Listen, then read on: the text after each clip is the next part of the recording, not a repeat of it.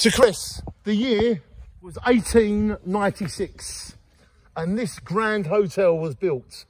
And can, roughly, in the not 1800s, 1890s, this was the Costa del England. Yeah.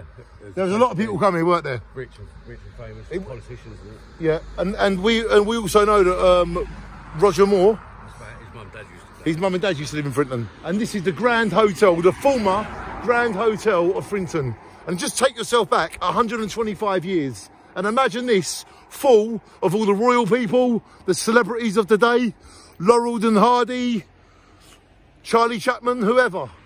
This was a totally different world 120 years ago, and this building still exists. The Grand Hotel of Frinton is still here today, and it was built in 1896. That's the original part of the building there, look. What a building. What a building. Let's get a close up. That is history right on our doorstep. The Grand Hotel Frinton. I don't know what it is today. Oh, it's apartments today. The Grand Apartments. That's what it's called today. But we remember this hotel as the Grand Hotel. So take your mind back to the 1800s when this was first built. And imagine a summer here. All of the people that lived here and stayed here. Look at the views, look at the balconies all the way along. This is the Grand Hotel Frinton. Not a lot of people know that this was once the Grand Hotel.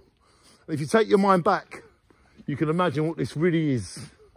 And it's here right day in Frinton. Today is November and it is 2021. And look at the Grand Hotel today.